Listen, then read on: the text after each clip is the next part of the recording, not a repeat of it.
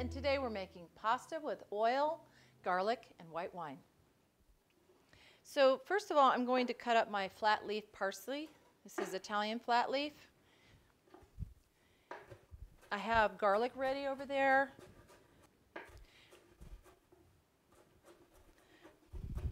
Want plenty of parsley.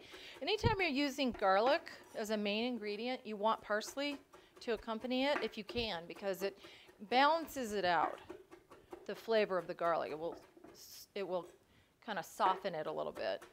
And besides, parsley is really good for you. It has a lot of vitamin C, minerals. It's good to cook with. So I'm going to start with, this is the garlic, chopped up. I'm going to use about half of this. So you see it's quite a bit, but I have a whole pound of pasta. So we want to have plenty of garlic. Actually, may, I'm going to dump the whole thing in there. So the thing about cooking with garlic, you have to be careful, is it cooks really quickly.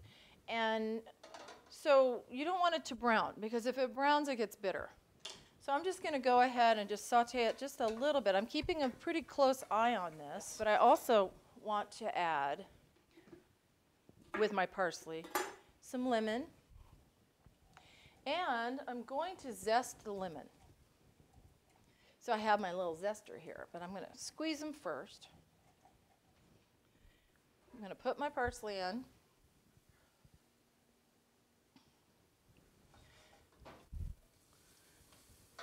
Oh, it smells so good. And we're going to take our lemon juice, put that in, the zest,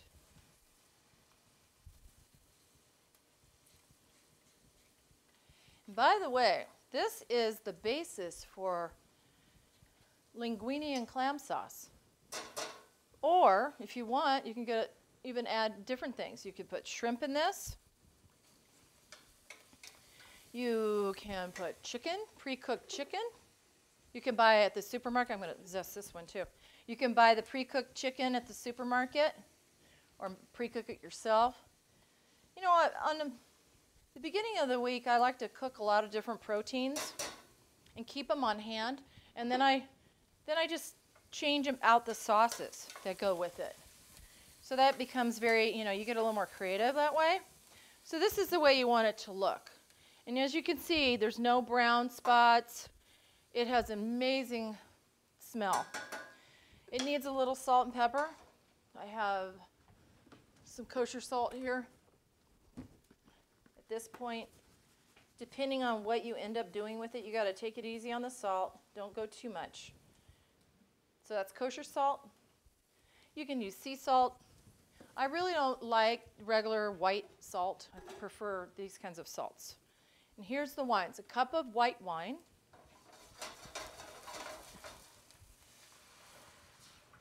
I'm going to turn the heat up.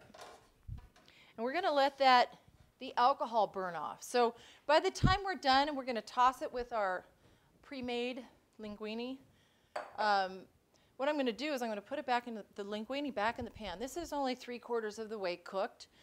And I kept, this is another little trick, I kept some of the pasta water. So, okay, so now it's time to put the pasta in. This is a whole pound of pasta.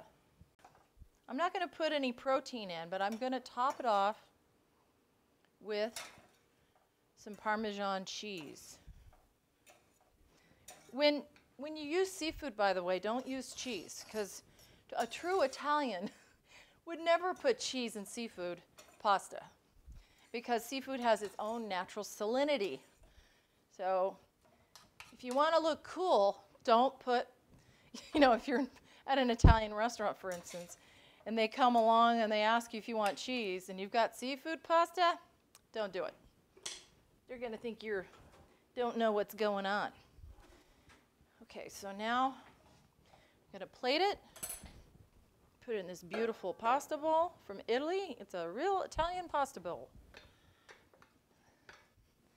There we go. And kind of wiggle it around. You've got your This is just a uh, potato peeler. This makes a nice presentation, just sh shards of this directly peeled. There you go. So that was really easy. I'm Chef Melinda, and I just made a wonderful dinner for you with pasta, olive oil, garlic, and wine.